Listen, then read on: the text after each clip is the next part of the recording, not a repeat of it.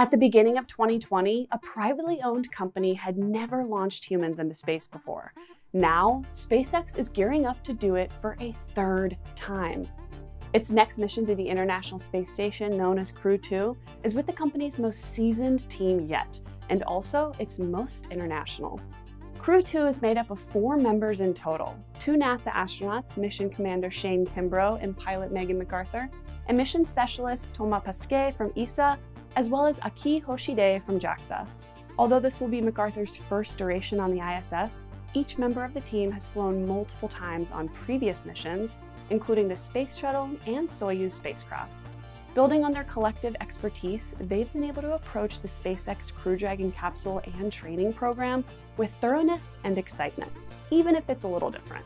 So comparing the Crew Dragon with the Space Shuttle training, obviously the vehicles have a lot of differences even though their goal is the same to get people into low Earth orbit. With Crew Dragon, of course, we don't have those panels and panels of switches. We have a very um, clean wall environment. It's like a smartphone, I would say, um, compared to the old uh, telephone.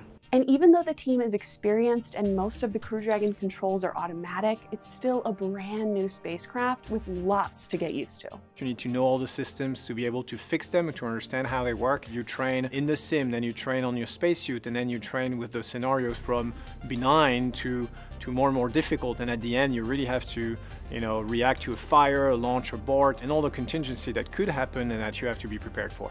All this training becomes important not only for their safety, but remember, these are still early days for commercial human spaceflight. This is only the third human flight of this vehicle, right? So when we get into the range, if we've flown, you know, I don't say put a number on it, 30 to 50 times, then I think things will be more routine. I think they're all pretty much test flights still until you get a lot more data points to be able to compare. The NASA and SpaceX teams have certainly looked at what happened on Demo 2 and changed things and made it better for Crew 1. And then we're getting data from Crew 1 already on the launch side, and they're working on better fixes for that. And SpaceX is working diligently with those changes. The Crew 2 team will actually be launching on the Crew Dragon Endeavour, which is the same one that was launched during the Demo 2 mission in May of 2020 with Doug Hurley and Bob Behnken, who happens to be McArthur's husband. How cool is that? It's amazing to think that I will be sitting in the same seat that Bob was sitting in when he certified that vehicle uh, the very first time that it launched. That certainly adds a little something special to the mission. Since then, the SpaceX team has made some tweaks to Endeavour, starting with the thermal protective system, adding some new parachutes, and increasing the propellant on the pad abort system.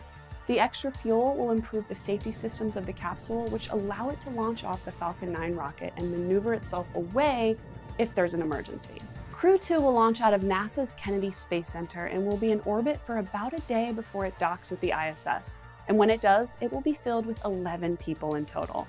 Crew 2 and Crew 1 will be aboard the station at the same time.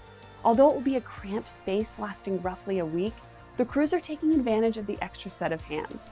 They'll start conducting scientific research such as ultrasound testing and watching cotton grow in microgravity. The crew will also be responsible for installing the station's new solar arrays, which will increase the station's total power from 160 to 215 kilowatts. Crew 2 will be able to return home in six months. A flight like this from the three space agencies hasn't been made in 20 years. It may not seem like a big deal, but international collaborations like these are important. It makes things more complicated. Yeah, we don't speak the same language. Uh, we don't have those same priorities all the time, but in the end, it makes you better. It makes you achieve more. Looking ahead to Moon and Mars, I think we, we need to continue this international cooperation because a single country just cannot do it alone. It's also true on this global level that we have these big dreams where we look out, you know, to the horizon and this desire to explore the universe around us and we're, we're always going to be more successful when we work together with our international partners to achieve these incredible dreams. For more Countdown to Launch, check out our playlist here. Don't forget to subscribe, and if there's another launch that you want to see us cover, let us know in the comments below. Thank you so much for watching, and I'll see you next time on Seeker.